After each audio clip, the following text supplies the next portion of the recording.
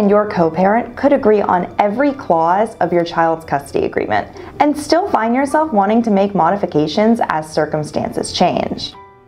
Modifying a child custody order can be challenging. However, assistance from an experienced family law attorney could make the process smooth for all individuals involved. And that is what we promise. My name is Stacie Moss, and I am one of the attorneys here at the law office of Bryan Fagan.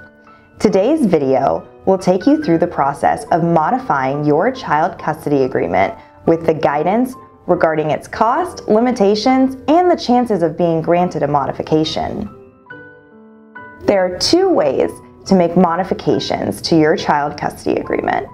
First, we have temporary and informal negotiations where the parents agree without seeking help from the family court. However, lawyers rarely recommend this path because either one of the parents can change their mind. On the other hand, to formally alter or modify an existing court-issued custody order, you must file a modification case in the same family court that ordered your initial order. This method will be much more reliable as every decision will be made in front of a family court judge. A frequently asked question at the law office of Bryan Fagan is who can file a modification case for child custody. The answer varies from situation to situation. In normal circumstances, you or your co-parent can file a modification case in a Texas family court. The terms and conditions for someone other than you or your co-parent filing a modification are different. That person must have lived with the child and the child's parents for at least six months, but not more than 90 days before that person files their modification case. Also, a close relative can file for a modification only if both co-parents have passed away. Now let's discuss the cost of filing a modification. There is a basic filing fee. You can find the fee schedule on the district or county clerk's website. This fee can only be waived if you are a low-income individual. However, you would have to file an affidavit with your petition for the modification and disclose your reasons for not being able to afford the filing fee. The duration of a child custody modification case is another frequently discussed topic. Many modification cases are straightforward and can be solved with a quick mediation session. In comparison, several modification cases are solved after a long trial. The time depends on the complexity of the matter and the level of conflict between the parents or guardians.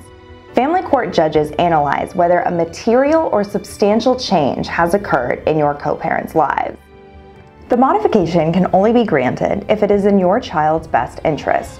A material or substantial change occurs when the income of you or your co-parent has either increased or decreased. If the medical insurance coverage of your child has changed, the request for modification can be approved. Let's suppose your co-parent has decided to move with your child further away from you. What would that modification look like? Would you have to continue to pay child support with additional travel costs? All of these questions can be answered by an experienced family law attorney who can assist you with your particular conditions. Hiring a family law attorney is optional to file for modifications in your child custody case.